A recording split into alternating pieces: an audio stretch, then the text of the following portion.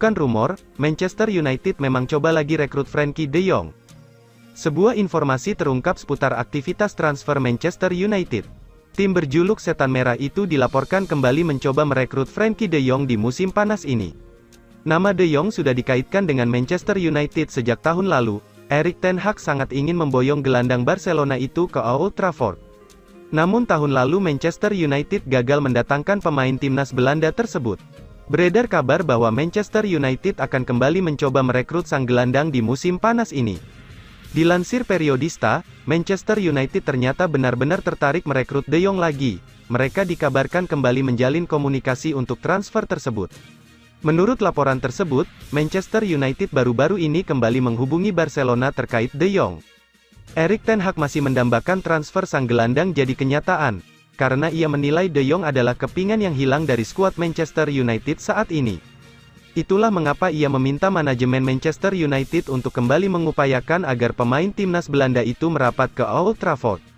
Peluang Manchester United untuk mendapatkan Frankie de Jong pada musim panas 2023 cukup besar, Barcelona masih mengalami kesulitan finansial. Menurut laporan beberapa media Spanyol, Barca harus menghasilkan dana lebih dari 170 juta euro sebelum bisa mendatangkan pemain baru. Barca pun sudah memiliki rencana pada musim panas ini. Butuh penyerang, Manchester United bergerak untuk dekati Joao Felix. Raksasa Premier League Manchester United dikabarkan sudah mulai bergerak untuk mendatangkan Joao Felix dari Atletico Madrid.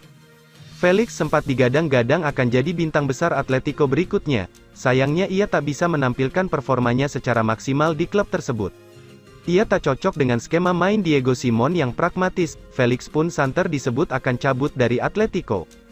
Felix akhirnya memang cabut dari Atletico pada pertengahan musim lalu, namun ia hanya pergi dengan status pinjaman ke Chelsea selama setengah musim saja. Manchester United musim panas ini terus mencari amunisi baru, mereka kemudian dikaitkan lagi dengan Joao Felix. Manchester United sebelumnya memang sudah dikaitkan dengannya sebelum ia pindah ke Chelsea. Laporan bahwa Atletico dapat memilih untuk meminjamkan Felix lagi daripada menjualnya musim panas ini karena penurunan nilainya. Di sisi lain, kesepakatan berbiaya rendah cocok untuk Manchester United karena anggaran mereka yang terbatas. Laporan itu juga mengklaim bahwa Manchester United sudah bergerak mendekati pihak Felix. Usaha merekrut Joao Felix adalah usaha kesekian Manchester United untuk mencari penyerang baru. Sejauh ini mereka terus gagal memboyong pemain incarannya. Manchester United sebelumnya dikaitkan dengan Harry Kane, namun mereka terganjal harga jual plus restu Tottenham. Manchester United juga diklaim mengincar Randall Kolomuani, akan tetapi harga yang dipatok Eintracht Frankfurt kemahalan. Manchester United kini sedang mengejar Rasmus Hojlund, mereka kini disebut sedang dalam proses merayu Atalanta agar segera bersedia melepasnya. Manchester United ketiban apes, kena hukuman UEFA persoalan financial fair play. Manchester United diharuskan membayar denda hingga 4,9 miliar rupiah karena dianggap telah melakukan pelanggaran dalam pelaporan keuangan.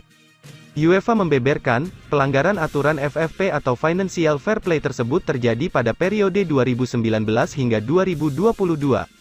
Selain Manchester United, satu klub besar Eropa juga bernasib serupa, yakni Barcelona. Namun dari sisi besaran denda, Barcelona lebih tinggi ketimbang Manchester United. Manchester United dan Barcelona mendapatkan sanksi dari UEFA. Dua klub itu melanggar aturan Financial Fair Play, FFP. Hukuman untuk Manchester United serta Barcelona disampaikan UEFA, organisator sepak bola Eropa, pada Jumat, tanggal 14 Juli tahun 2023. Pelanggaran Manchester United ditemukan setelah UEFA melakukan pemantauan pada tahun finansial 2019 sampai 2022.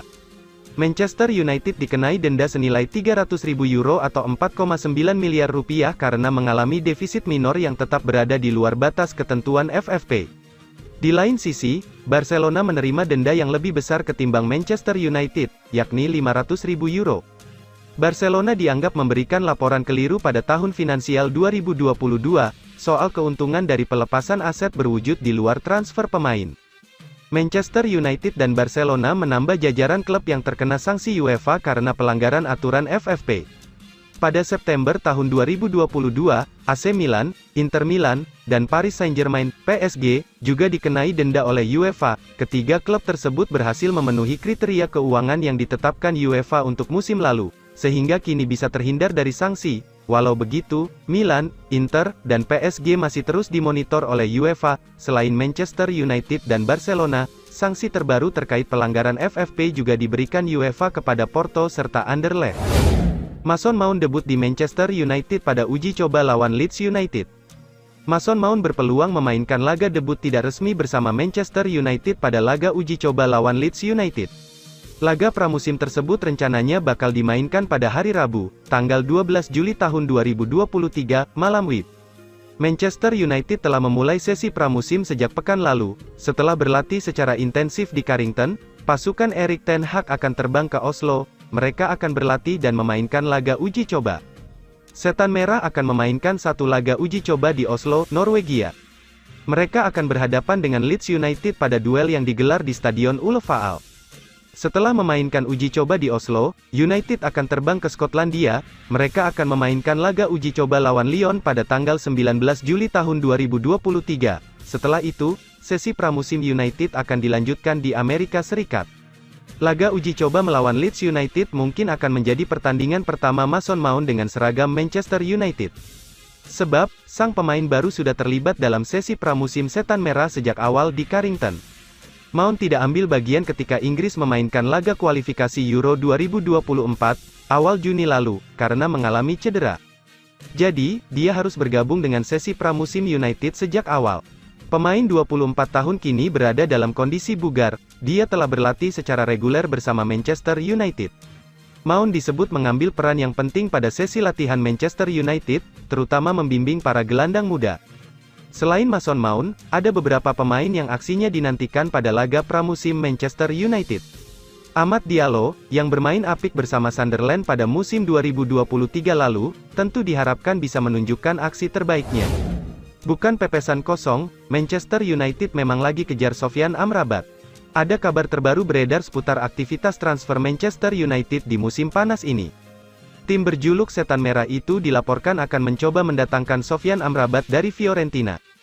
Manchester United telah menuntaskan transfer pertama mereka di musim panas ini. Setan Merah sukses mengamankan jasa Mason Mount dari Chelsea dengan mahar sebesar 60 juta pounds.